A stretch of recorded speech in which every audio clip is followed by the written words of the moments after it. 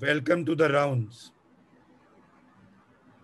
You are, uh, besides the patient, Professor S. K. Nair, sir, and teach us how to examine a patient. Thank you very much. Can I start, Dr. Mehra? Sir, this is the first slide, sir. Before I come to the first slide, I would like to thank Dr. Kaza for the profuse, somewhat overdrawn compliments that he's paid to me, but it brings back memories of what he has called the CPC, Clinical Pathological Consensus All India Institute. That's I right. don't know. I was a frequent target by the institute, having served in the institute previously for these CPCs. And I enjoyed doing these immensely. They used to send a brief history and about the patient and his progress, the laboratory findings, the x-rays, and then expect you to come to a diagnosis in a systematic manner. Before I go further, I'd just like to pay tribute to what I call the backroom boys.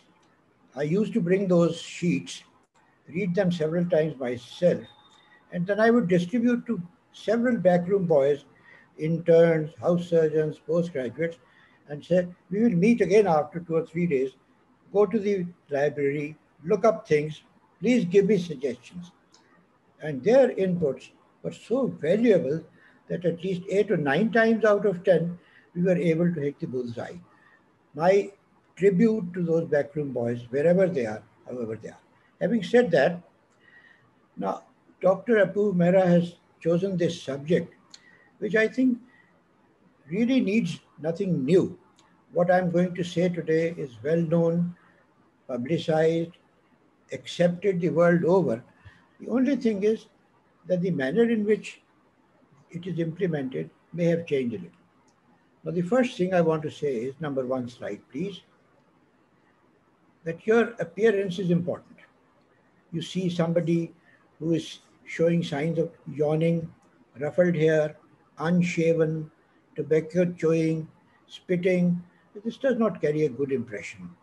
You must wear an apron, which is everyone knows, but pay some appearance to your appearance unless there are very extenuating circumstances. You just may have come out of the OT, in which you can be in your OT dress, you may be having your cap, but your personal appearance is something that is very important. If you are yawning and showing such disrespect to the patient, it is not a good thing. It does, does not uh, get confidence for the patient. Next slide. Sir, uh, what about the smile on the face? I'm coming to that. That'll be in one of the subsequent slides. Now, very often you see that doctors are examining a patient, the nurse is standing on the left, he's dictating instructions to the nurse, and several times I've seen you have the, your right foot or left foot on the patient's bed. Very, very condemnable. This is not the done thing. You, you may not believe it, but I've seen it more often that, than that. The old time feudal surgeons, as I call them, used to do it quite often. Some of them would even smoke while talking to the patient. This, I think, is a reprehensible practice. Be attentive, smile, and convey to the patient that you want to help. Your attitude is very important.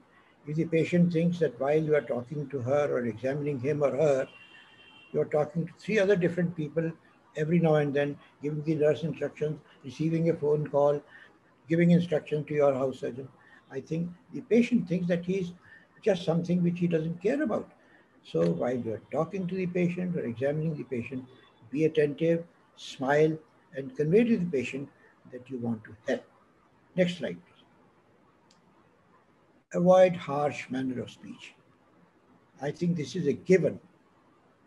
I may not have included this slide, but having seen the feudal surgeons of the past, it may come as a surprise to today's young surgeons that surgeons did use very harsh manner, especially with patients who had come, say, from the villages.